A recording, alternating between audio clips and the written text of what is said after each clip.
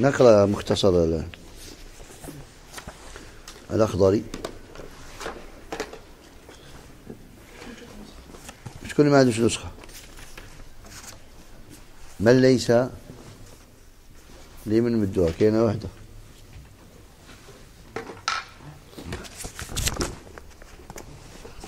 ها؟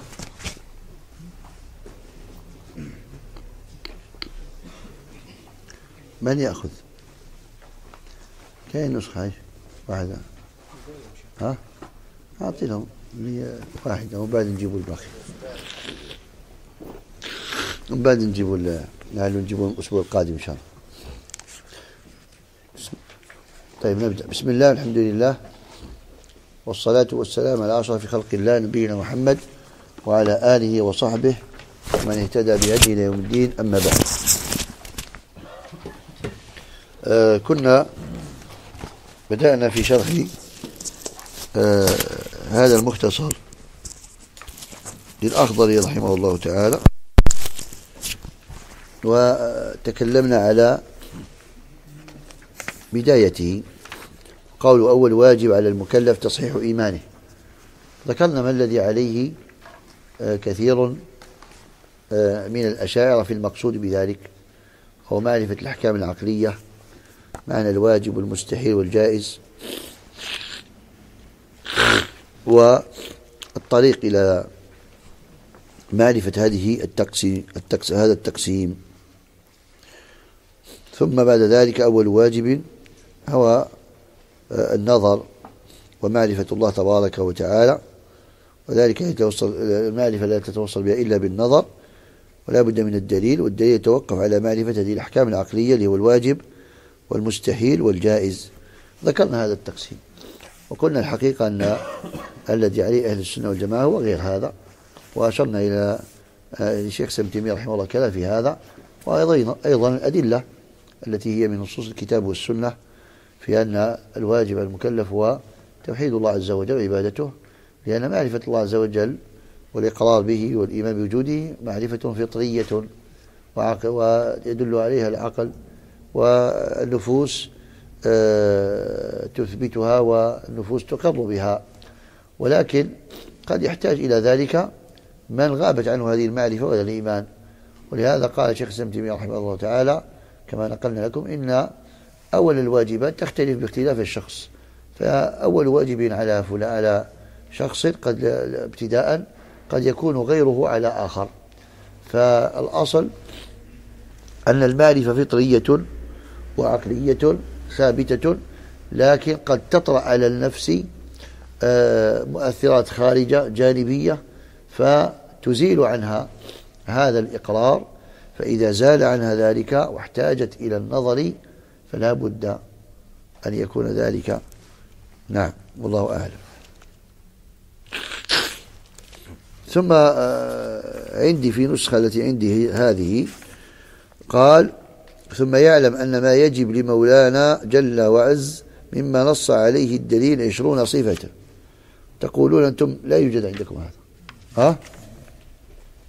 على كل آه، أضيفوها ونعلق عليها تعليقا يسيرا. هذا الكلمة ثم يعلم أن ما يجب عليه لمولانا جل وعز مما نص نص عليه مما نص عليه الدليل عشرون صفة.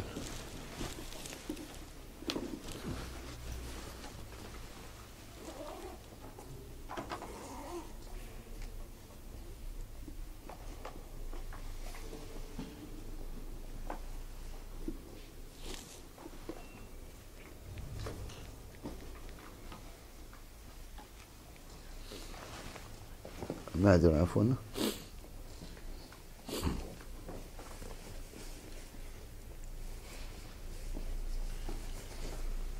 سلام عليكم تسعة ولا تسعة ونص؟ اي ماشي مشكلة. يدكم السلام عليكم.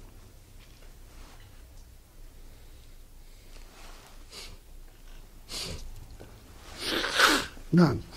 آه هذا المبحث وهو مبحث الأسماء والصفات. آه حاصل مذهب آه وقول أهل السنة والجماعة. هو إثبات ما أثبت الله عز وجل لنفسه وأثبته له رسوله صلى الله عليه وسلم. مما ثبت في كتاب الله عز وجل وفي صحيح السنة. وهذا الإثبات هو إثبات من غير تمثيل ولا تكييف كما أن النفي يكون من غير تعطيل ولا تحريف فما ثبت في الكتاب وصحيح السنة من الأسماء والصفات نثبته. وما جاء نفيه ننفيه. وعموم نصوص الكتاب والسنة جاءت بالإثبات المفصل وجاءت بالنفي المجمل في الغالب. قد يكون نفيا مفصلا لكن قل هذا على قلة. وإنما الغالب الإثبات يكون مفصلا والنفي يكون مجملا. خلاف ما عليه غير أهل السنة والجماعة من التفصيل فيهما أو الإجمال في الإثبات والتفصيل في النفي أو الإجمال فيهما. الذي عليه أهل السنة وهو الوسط وهو الحق التفصيل فيما أثبت الله عز وجل. أو التفصيل في الإثبات والنفي والإجمال في النفي. وبالتالي فكل صفة أو اسم ثبت فإننا نثبته لله عز وجل. معتقدين في ذلك أصولا ثلاثة أن الإثبات والنفي مرتكز على الكتاب والسنة النفي أن ننفي عن الأسماء والصفات التكييف والتمثيل والتحريف والتعطيل وأن نقطع الطمع عن إدراك كله صفات الله تبارك وتعالى. وهذا الباب هو الأسماء والصفات فيه قواعد كثيرة ليس هذا محل تفصيلها. لكن آه، خالف أهل السنة والجماعة طوائف أخرى فمنهم من ينكر الصفات والأسماء كغلاة الجهمية وغيرهم ومنهم من يثبت الأسماء دون الصفات كالمعتزلة كالمعتزلة ومنهم من يثبت الأسماء وبعض الصفات وبعض الصفات. وإن كانوا يوافقون أهل السنة في هذه الصفات أو في بعضها ففي الحقيقة موافقتهم لها موافقتهم لأهل السنة ليس كذلك ليس موافقة في طريقة الإثبات وإنما هو في إثبات هذه الصفات وعندهم أن هذه الصفات يثبتها العقل ويثبتها العقل ولذلك ينتهون إلى إثباتها عقلا لا ويستأنسون لذلك بالشرع. وبالنقل لأنهم يرون أن مثل هذا الإثبات إنما السبيل إليه هو العقل والنقل يستأنسون به ولا يريدونه إرادة الاستدلال. إرادة الاستدلال. ولعلي يفصل أكثر في آه، آه، القراءة الثانية للكتاب إن شاء الله تعالى. مجمل هذه آه، الصفات العشرين ها إثبات الوجود والقدم والبقاء وأنه يخالف الحوادث وقيامه تعالى بنفسه فلا يفتقر إلى محل ولا مخصص ووحدانيته لا ثانية له في ذاته ولا صفاته ولا أفعاله والقدرة والإرادة التي تتعلق بجميع الممكنات والعلم المتعلق بجميع الواجبات والجائزات والمستحيلات والحياة وهي لا تتعلق بشيء والسمع والبصر المتعلقان بجميع الموجودات والكلام الذي ليس بحرف ولا صوت عندهم. ويتعلق بما يتعلق به العلم من المتعلقات وكونه تعالى قادرا ومريدا وعالما وحيا وسميعا وبصيرا ومتكلما ومتكلما فهذه هي آه، آه، الصفات آه، العشرين التي يقصد ذكرها هنا وسبع منها صفات عقلية خبرية وهو إثبات القدرة والإرادة والعلم والحياة والسمع والبصر والكلام. ها؟ كما جاء في بعض أبياتهم له, له, له, له العلم والكلام والسمع والبصر آه له له الحياة. و؟ الكلام والحياة والبصر علم إرادة وسمع أي نعم. له الحياة والك... له الحياة والكلام والبصر له الحياة والكلام والبصر. علم إرادة وسمع واقتدر. علم إرادة وسمع واقتدر. هذه الصفات السبع التي يثبتونها والباقي يثبتونه بالعقل ها؟ يثبتونه كذلك بالعقل. والحقيقة أن آه، مثل هذا آه، ليس على طريقة أهل السنة والجماعة إنما الذي عليه أهل السنة والجماعة هو ما قدمت أولا هو ما قدمت أولا. وأما إثبات الوجود فهذا أدلته كثيرة متكاثرة وهذا أمر فطري وتدل عليه أدلة عقلية جاءت في كتاب الله عز وجل وتدل عليه أدلة سمعية أيضا في كتاب الله عز وجل ويدل عليه الحس آه، كذلك. وأدلة الوجود كثيرة. وأما الأسماء والصفات فمبناها على الأصول التي ذكرتها.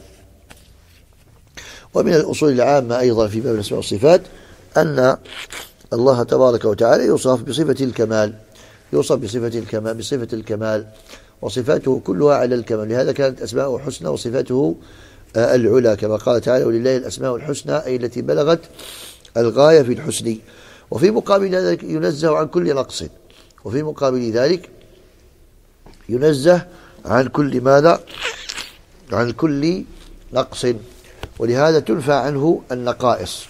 ونفي النقائص عنه تبارك وتعالى ليس نفيا محضا وإنما هو نفي يتضمن إثبات كمال الضد.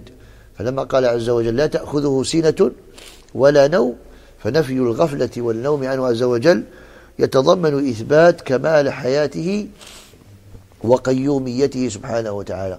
ونفي العزوب عنه ونفي الضعف والعجز هذا كله أيضا يتضمن إثبات كمال الضد كمال الضد ولما كمال الضد نعم.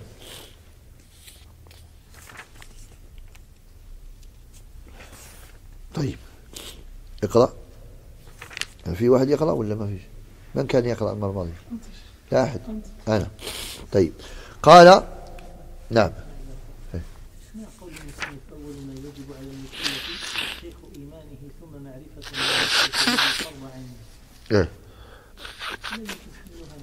صحيحا من أنه ينبغي أن يكون له بناء على الأحكام الفقهية وهي الأحكام العقدية يعني لا يصح العمل المكتسب إلا بتصحيح الإيمان كيف يصح الإيمان؟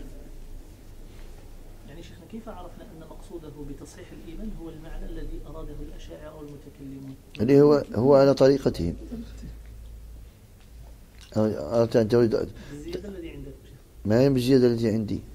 بما هو بما يقوله هو ويقوله شرح وهذا الذي يراه. وهو الشائع. إلا إذا أردت أن تحمل كلامه على محمل لا يقوله هو أصلا. هذا شأن آخر. أقصد العبارة العبارة كما هي إيه؟ العبارة كما هي صحيحة على على اعتبار. لكن هو هل يقول؟ واضح؟ هل يقول هو هذا؟ أنا أقرأ, أقرأ لك شرح من شراح الذين عاصروه يعني أن أول واجب شرعا على كل مكلف وهو البالغ العاقل أن يعرف ما يجب في حق مولانا جل وعز وما يستحيل وما يجوز. وكذا يجب عليه أن يعرف مثل ذلك في حق الرسل عليهم الصلاة والسلام. اختلف أهل المعرفة بهذه الثلاث في حق الله وفي حق رسله هل هي نفس الإيمان الذي كلفنا به من غير يستند إلى حديث النفس التابع لها وهو مذهب الشيخ الأشعري؟ وهي ملزومة الإيمان فيكون الإيمان على هذا حديث النفس التابع المعرفة وهو مذهب الباقلاني إلى آخره. إلى آخر ما ذكر. فليس إلا هو هذا. نعم. ثم إذا جئت آه إلى يعني الكتب التي عليها نفس الطريقة كجوهرة التوحيد وكمثل بن عاشر وغيرها فعلى هذا يسيرون على هذا على نفس الطريقة. نعم. قال ثم معرفة ما يصلح به فرض عينه كأحكام الصلاة والطهارة والصيام. يعني هذا مما يجب على المكلف مما يجب على المكلف أن يتعلم ما به يكون صلاح فرض عينه. قال فرض عينه هذا آه، تعميم. ومثل بالصلاة والطهارة والصيام. ولهذا في القاعدة العامة أن كل ما يتعين على المكلف وجب عليه أن يعرف حكمه. إذا تعين في حقه الصلاة وجب أن يعرف أحكامها إذا تعين في حقه لما قلت تعين في حقه الصلاة أي الصلوات غير المفروضة آه، عليه بعينه كصلاة الجنازة. فهي فرض كفاية. طيب إذا تعينت عليه بحيث لم يوجد من يقوم بها إلا هو صار تعلم أحكامها فرض عين عليه. وقل مثل ذلك في غير هذه الأعيان المعروفة كالتجارات والبيع والشراء وغير ذلك. فواجب عليه أن يتعلم حكمه. ولهذا نقل القرافي رحمه الله الإجماع على أن المسلم لا يجوز له أن يقدم على فعل حتى يعلم حكم الله فيه سواء كان في العبادات أو كان ذلك في ماذا؟ في المعاملات أو كان ذلك في المعاملات.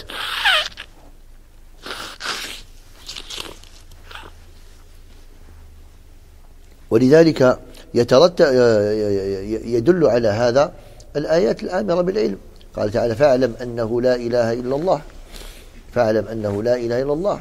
قال عليه الصلاة والسلام فطلب العلم فرض على كل فريضة على كل مسلم. فريضة على كل مسلم. و آه، وغير ذلك من الأدلة.